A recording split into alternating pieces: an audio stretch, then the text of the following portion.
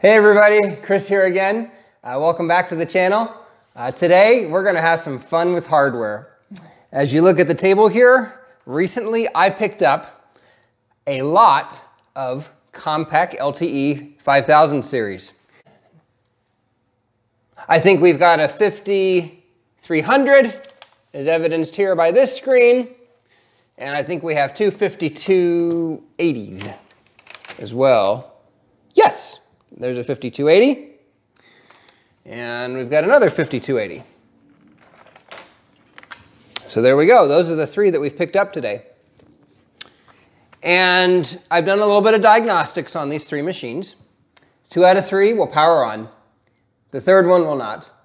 And all three have bad screens. So here's my goal for today.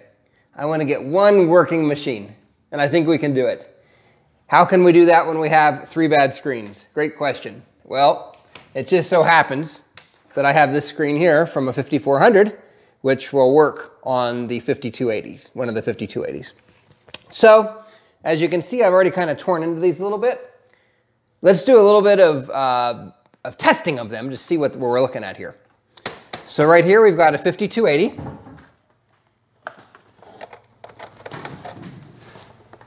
I'm to go ahead and plug it in to video and power, and we'll power it on. You can see it powering on there. And our monitor should go white, so it's starting up. And you can hear it seeking. And look at that, this one has a 64 megabyte memory upgrade in it. And actually all three of them do. So I'm very excited because I now have three 64 megabyte memory upgrades for, five, for LTE 5000 machines. Okay, so this one's good. I'm to take this and set it off to the side for now since we're not going to do much more with that one, I think. All right. This one here has that very nice cheddar cheese keyboard, as you can see. That was an accessory you can get with the 5300s. Ah, Just kidding. So this obviously would be in need of some retrobriting. We can test this one out. And despite the cheesy keyboard, I think of the three, this one's in the best shape.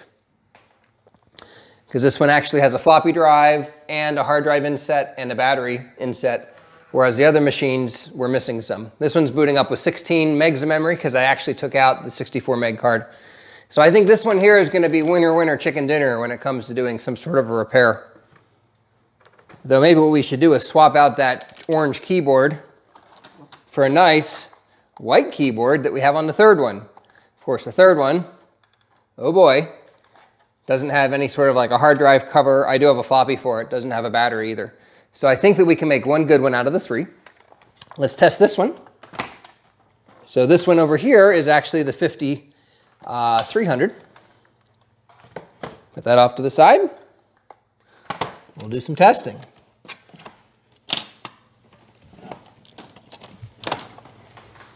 instantly, and we power it on, look what we see.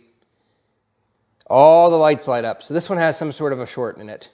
Either the processor card, which is here, the motherboard, which is here, or the DC inverter, which is right under here. I'm suspecting that's the problem with this. Maybe in the future we'll spend some time diagnosing it. Okay, so that's what we've got. Let's take this one and set it off to the side for just a minute. Now let's look at the screens. So as noted, this is a 5400 screen, which we're going to use. It's a little bit different. It's a little bit bigger. You can tell it's a little bit bigger than the other screens, which we'll look at in a minute because it has smaller speaker grills. Unfortunately, though, this one is not pristine, but at least the panel is good. This screen has a very evident bad panel and that it's cracked. So there's not much we can do with it. Also missing a slider here. And the hinges, hinges are actually okay on this one. Not in great shape. We could probably tighten that up. This one came like this, shifted. As I open it up, it's a total lost cause. There weren't any screws holding things in. Why? They all broke free. So there's really not a whole lot we can save from this machine. The back panel is bad. Actually, there is one thing we can save from this machine. Look at this. We have one good screen hinge, which is really good. When these things break, they're hard to find. So that's good. Maybe we can save an LCD inverter. Maybe we can save uh, this module here, maybe the cord, but otherwise there's really not a whole lot that we can do with that. Let's set this off to the side. Next screen, missing uh, sliders on both sides, but it does have the actual hinges. And this screen is also bad. It shows up very, very blurry or something. Something is wrong with it. Maybe there's some parts that we can save from it. Who knows? Maybe it has a bad inverter, so maybe we can switch that out and do some testing there. But for the time being, we're going to set this one off to the side. And finally, we have this one here, which I haven't taken apart, but it doesn't quite power on right either. But maybe it has a bad inverter, so maybe we can switch it out, though the hinges on this one are extremely bad. But again, that might just be a tightening issue. Maybe the screws are, uh, need a good turn. Maybe they're just a little bit loose. So that's what we've got. All right. Now, my 5400 screen does have a broken hinge. So maybe that'll be the first thing we go ahead and fix here. So I've already popped all the screws out. Now that I've gotten this apart like this, these are extremely brittle. So we're just going to take a small screwdriver like that and pop out this outer connector here. We got to be very, very gentle. And we're actually probably better off popping from the inside. If you can see that. Let's take it this way. Once again, these are very brittle. If we pop it like this, chances are good it'll break. Oh, okay, we lucked out. It came out easy.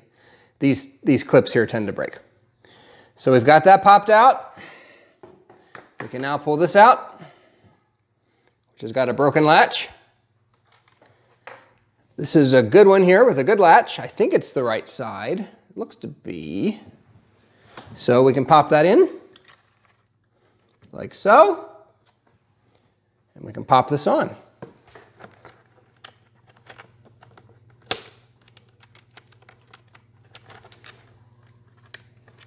Slide it up just a little bit. All right, good fix. So with that, we can put things back together here. Let's go ahead and do that.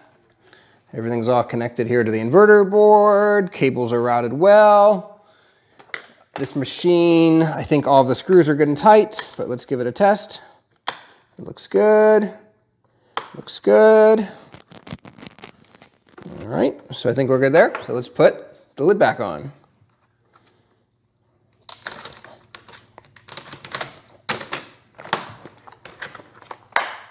Snaps in place.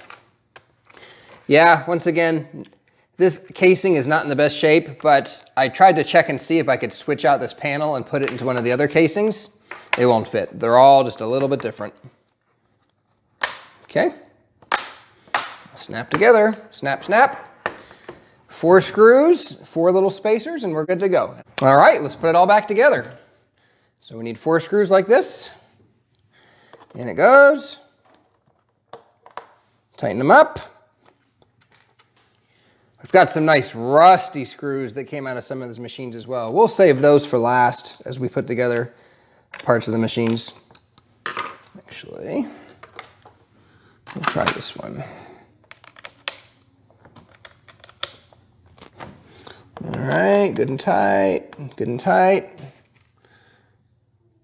That screw is a little rusty, but you know what? Actually, it'll be hidden by uh, these little covers here, so maybe we'll just go ahead and leave it.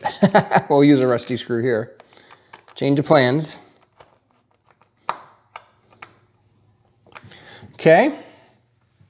Fourth screw goes here. So we had one, two, three, and four. All back together. Now these little nubs that are kind of rounded like this go in the bottom. And chances are good I'll put it in the wrong way and then have to fix it. Eh, actually, that, that looks okay. And then we've got a little nub here. All right, let's grab this one here, put it in. And this one here, put it in. All right, So this guy, despite his imperfections, is good to go. But I tell you what, I think we should go ahead and update the uh, label on the back because this says 5400 and this is not going to be a 5400 despite being somewhat of a Frankenstein.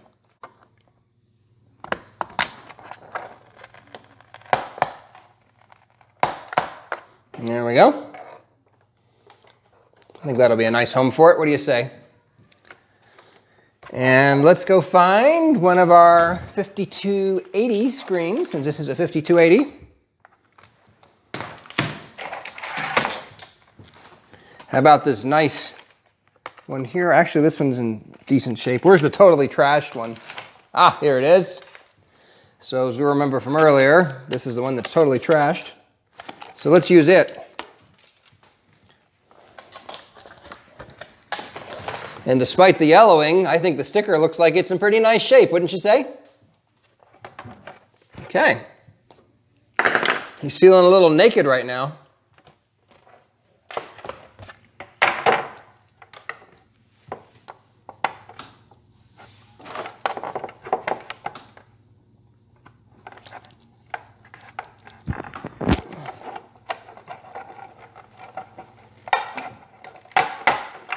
All right. So the question is, which way do we want it to go on? Because I see these stickers on both ways. I kind of like it that when the machine is upright that you can see the sticker on. So let's put it on this way. Okay, not perfect.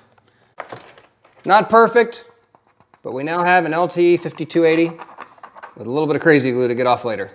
But that's fine, right? At least you get the idea. I think if we scrub that off there, that'll look half decent at least.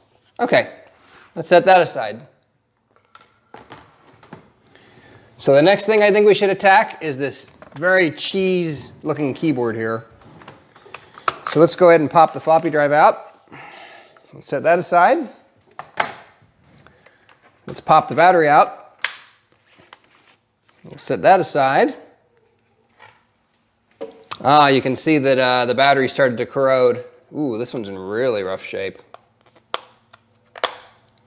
Oh my. Well, there won't be much to use there for a rebuild later, but that's okay.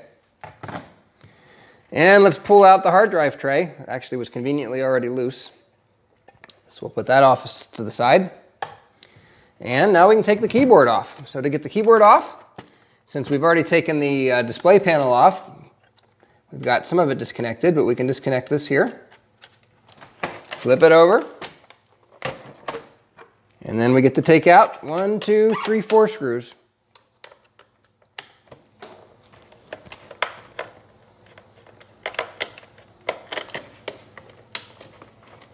Really helps if you have the right kind of screwdriver. Of course, Compaq, what kind of screws does it use?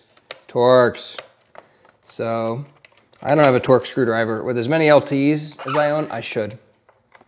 I'm probably committing some sort of a crime.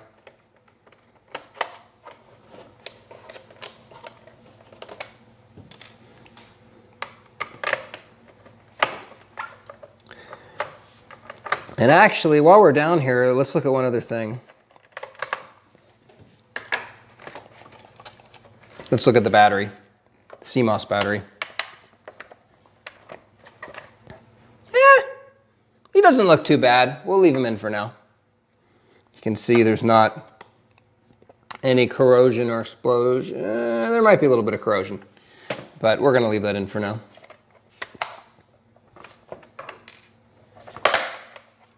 Okay.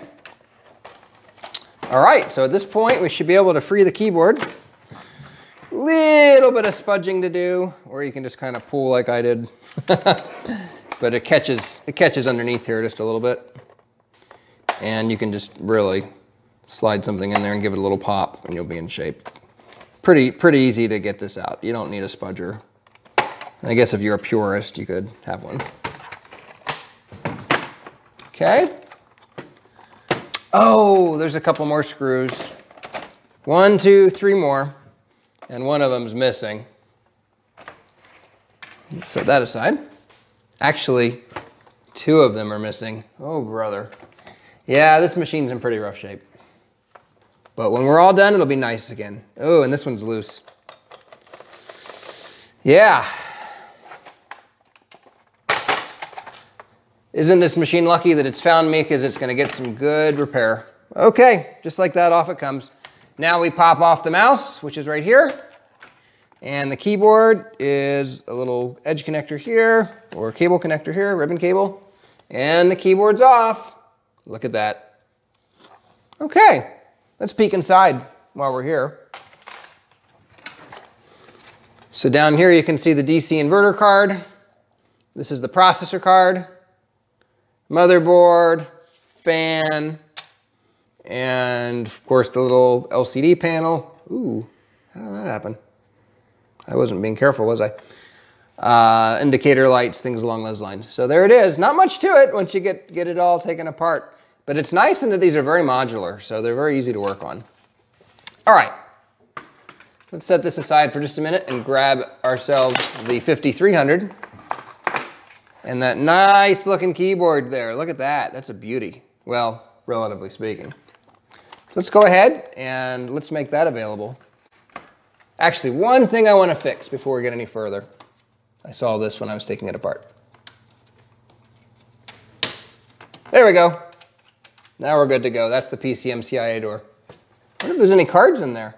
Nope, doesn't look like it. Okay.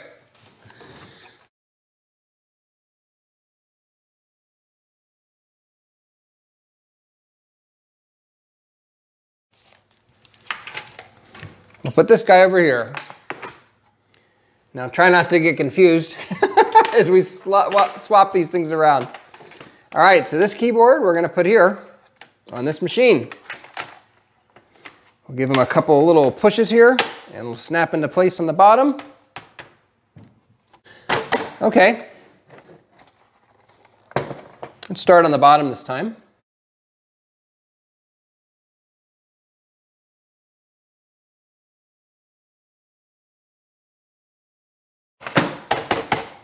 Should be good and back together for that. Let's continue. So, while we were working along here, you might have heard a clank. This guy popped out. I think he popped out on this one too. So we'll go ahead and put him back. Okay, so next up, we get to put the screen back on. Except for it's not really back on, it's really a replace since we're gonna be using our lovely redone 5280 screen here from a 5400. So for these, I find it's easiest to kind of slide it in a little bit, connect up all the cables. This one here is for the backlight, I believe. Then we have a cable here for the main video display and also a speaker. Okay, so we're good there. Okay. So next up, we have uh, two grounding screws, which also hold the keyboard down. Here's one here. We can use a nice rusty one for this. Nobody will ever see it. Oh, that was interesting. oh no, come out, come out. Well, that's just great fun, isn't it? Let's see if we can force him out there. There we go. and what do you know? We had a, a stowaway as well. So let's put him in. Okay, we're back in business. Slide that in there, and I'll try and be a little more careful this time. I'm not gonna promise. This guy does have a tendency to spring back though, doesn't he? So let's hold that down, put screw in, get it just a little bit tight. There we go. I don't know what happened there, but he's nice and rusty. Okay, we got that in. Let's kind of push that down a little bit so it'll make it easier to put the top cover on. I think they call it the CPU cover. For this screw, I always use one of these because these are impossible to put in otherwise. So we can just kind of set that in there a little bit. And we can kind of twist it just a touch to get it set and started. Let go and we're all set. Now we can finish the job. yeah, how about that? This cable's got a little bit of spring to it. Let's uh, bring it in a bit. All right. There we go. Now actually that we have it in the cable, it's a little bit easier. So let's just give it a nice twist. Yeah, that's one of the more fun ones to put in. I want to kind of slide it over just a little bit, so we're going to hold that as we tighten it. He's tightening right up, right there. I was a little concerned there for a minute that it wasn't going to tighten in all the way, but it did. Okay. How about a little power on test before we get any further? Plug them in. Powering up. No smoke yet. Turn the sound up. See if we can go into setup here with F10. And of course, we don't have a floppy drive or anything else in, so it's a little bit hard to see exactly what's going on here. Looks like we're in setup. We have a working mouse, hey, hey, hey, and a working keyboard, at least some of the keys. Great. Well, let's finish up putting them back together and let's do some more testing with them. All right, so next up we need to grab one of our uh, CPU covers.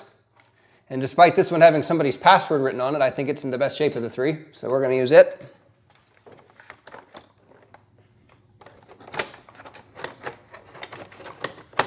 Now what I really should have done is actually connect the bottom screws first. I'm gonna slide this over a little bit. He's not quite in there right. Actually, let's do it the right way. Just so we can get that LCD anchored, let's go ahead and put the two bottom screws in.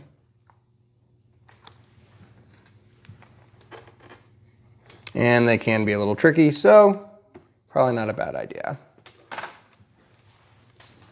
As you can see, it's not quite lined up right. You have to kind of shimmy this up and down just a little bit till you get the alignment right, and then it should go in hopefully.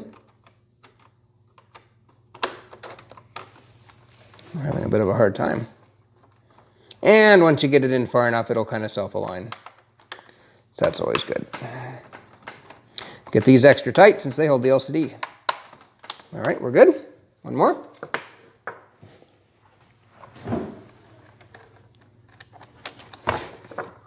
Once again, get the shimmy up just a touch.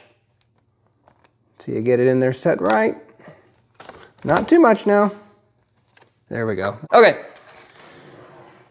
Three out of four ain't bad anyway. I think it's in there. Yeah, okay. So now let's put the CPU cover on. And now that we have that on, we can actually bend this back a little bit. Just kind of push things in best we can. that should snap in. Yeah. All right, let's pull it forward. It's kind of the easiest way to do it. And then from that, there, what I tend to do is clamp down a little bit. And actually, that lined up really nice. So for this, it's going to be three more screws. There's old Rusty. That one doesn't look too bad. Let's go with it.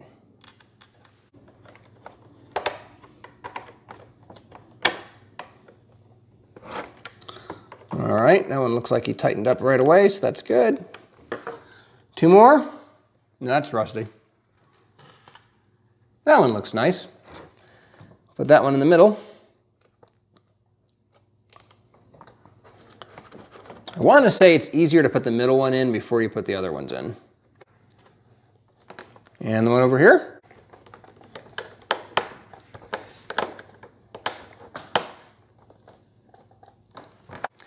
Okay, let's put a 64 megabyte memory upgrade in here since we have a couple of them. And actually this came out of this machine. So there's your Compaq LTE 5000 series 64 megabyte memory upgrade. Let's go ahead and just put that in there. Okay, pop that in so it seats good. And then to secure that are these two little funky screws that have that don't have threads up all the way. That's how you can tell it goes into the memory module door. Easiest to set it up on its end. Gravity is your friend.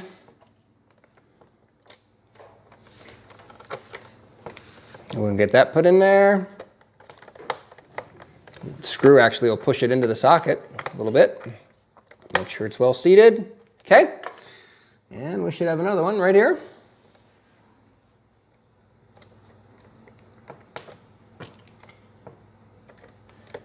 Okay, and it goes.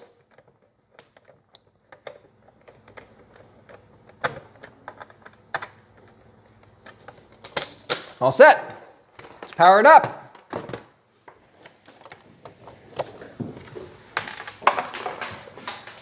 Hmm. Goes around, comes around. So let's go ahead and put a floppy drive in here. I'm not gonna, I'm gonna put the battery in too, why not? The battery, floppy drive,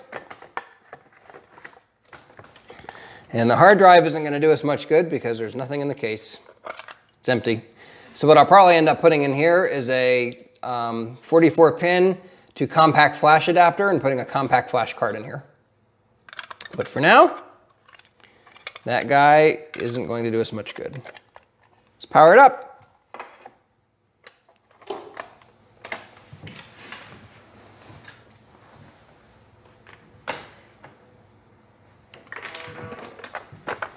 Let's see if the floppy drive's any good.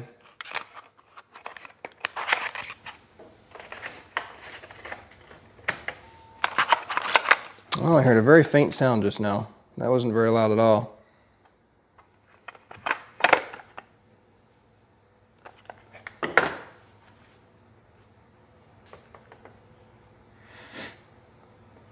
See it here? Uh-oh. Floppy disk fault.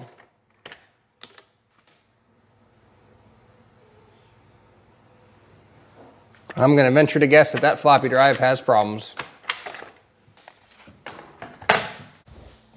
Let's try another drive.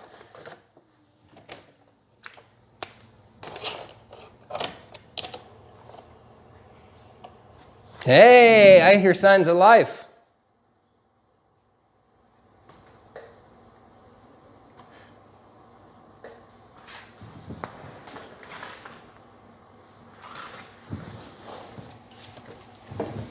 Hey, look at that, starting DOS. Well, good. So we have at least one good floppy drive. What we'll try and do on this one at some point is clean the heads and see if it comes back to life. If not, in some cases, we can actually get lucky and replace the internal drive within the mechanism.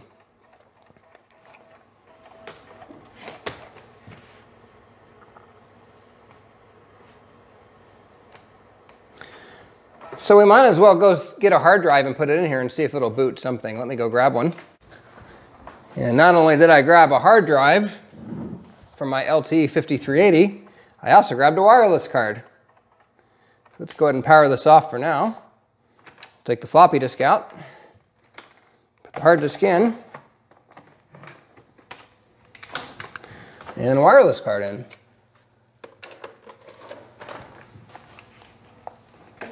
See what we get. Oh, here it's spinning right up. 80 megs of memory.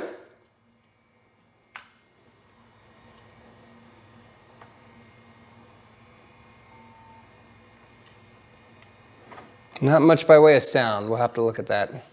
Hey, here we go. Let's boot into DOS. Network.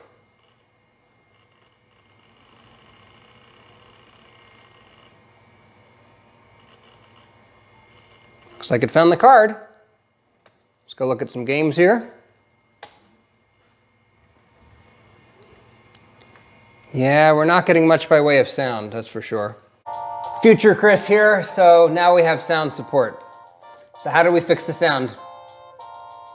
Well, all the work we did to swap the keyboard and the screen to another machine, I did again onto the other 5280. Apparently, um, there's some sort of an issue with the sound card. Typically, what I found is these little dials that control the audio control tend to go bad. And maybe with some contact cleaner, I could have straightened it up, but I didn't want to mess with it, so I just went ahead and swapped it out. So something else I did was went and got some of these indoor mounting squares. And they have just enough little cushion to them that they make for great little fixes for drive doors that don't want to stay shut. It kind of flexes a little bit, it flexes back. It's a good quick fix. So with that, we should be able to put this on and we should be all set.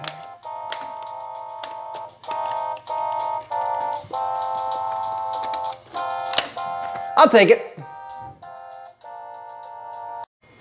Okay, well, not really sure what's going on with the sound, but everything else seems to be working. So uh, there we have it, uh, LTE 5280, all set to go. I uh, hope you enjoyed the video. Uh, if, if you enjoyed it, feel free to give it a thumbs up. Otherwise, feel free to give it a thumbs down, and we'll see you next time. Bye-bye.